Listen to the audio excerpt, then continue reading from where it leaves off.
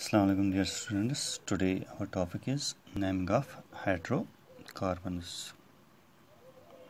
That two of saturated hydrocarbons. पहले हम देखते हैं सैचुरेटेड हाइड्रोकार्बन्स होते क्या हैं सैचुरेटेड हाइड्रोकार्बन्स वो हाइड्रोकार्बन्स है जिनमें सिर्फ़ और सिर्फ़ कार्बन कार्बन सिंगल बॉन्ड होता है इनमें कोई डबल या ट्रिपल बॉन्ड नहीं होता है। और जो सेचूरेटेड हाइड्रोकार्बन होते हैं, ये स्टार्ट होते फ्राम मीथेन सो जो ये मीथेन होता है, इसकी फार्मूला है स्ट्रक्चरल फार्मूला है C H four that means carbon having four valencies is directly attach to four hydrogen atoms form four covalent bond this methane has a tetrahedral structure This compound methane contains one carbon atom only, which is indicated by the word root meth. Meth means one carbon atom. So methane has a one carbon atom. So it's a saturated and it's indicated by ending ane. We add suffix ane to the meth and so On joining meth with ANE, the IUPAC name of compound becomes methane. So, the IUPAC name of this compound is CH4 is methane और इसका जो common name है वो भी methane है इसी तरह हम देखेंगे naming of ethane having structural formula C two H six methane में हम देखा इसमें एक ही कार्बन है ईथेन में दो कार्बन है that's carbon carbon single bond exist and other three valencies of carbon and carbon are satisfied by six hydrogen atoms जो मीथेन है, ये दो कार्बन एटम कंटेंट करता है, जो ज्वाइन हुए हैं एक दूसरे से by single covalent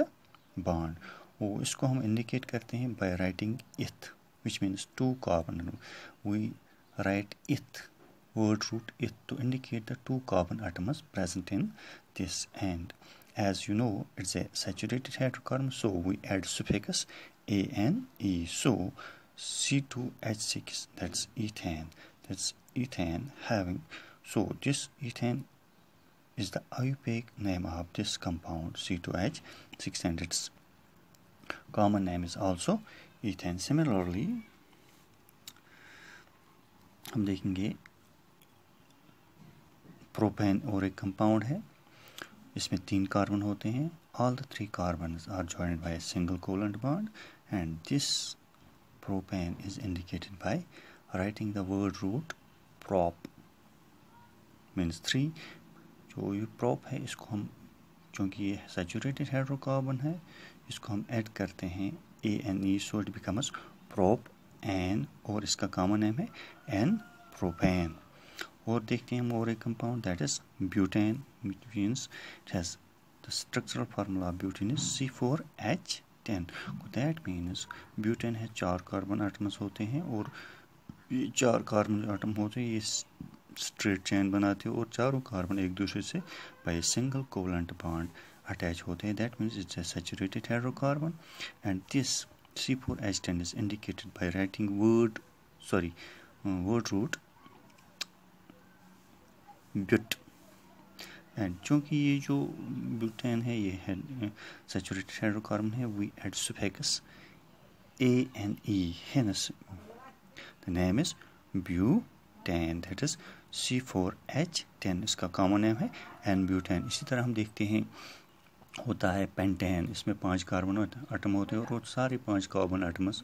that is C five H twelve सारे कार्बन आटमस एक दूसरे से जुड़े होते हैं बाय सिंगल कोवलेंट बॉन्ड और इसकी बाकी वैलेंसीज सेटिस्फाई होती है बाय हाइड्रोजन आटमस जो पेंटेन है, इसमें पाँच कार्बन आटम है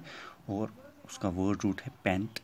by adding A N E जिस विच मीन्स जिससे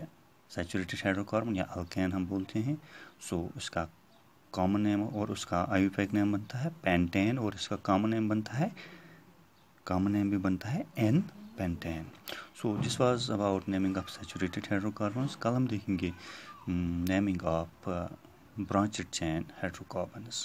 So आज के लिए इतना ही. Thank you